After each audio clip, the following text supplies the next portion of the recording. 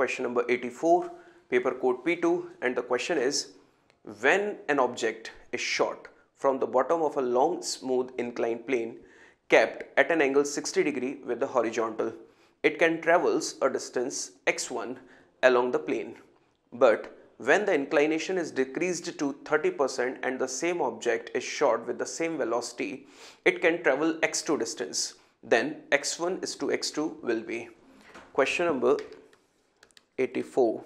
Question says, first of all, the angle of inclination of the plane is 60 degree. And consider a body of mass m. Let is shot with velocity u.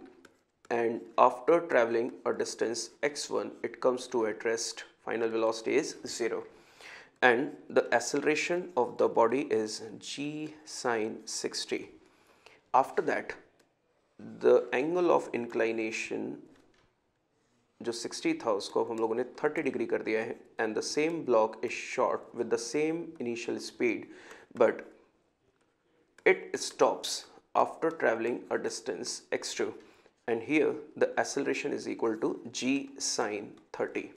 Now simplify the first equation with the help of first we can find the value of second as well. So v square is equal to u square plus 2as. Final speed is 0, initial is u, u square, acceleration is g sine 60 आप observe कर रहे हैं यहाँ पर मैंने minus sign लगाया because the case of retardation initial velocity मैंने plus ली सो रिटार्डेशन के लिए मुझे एसलरेशन को माइनस से रिप्रेजेंट करना है and the S is X one so here I can write the value of X one is equal to u square upon 2g sine 60. Similarly, similarly x2 is equal to u square upon 2g sine 30 equation first equation second.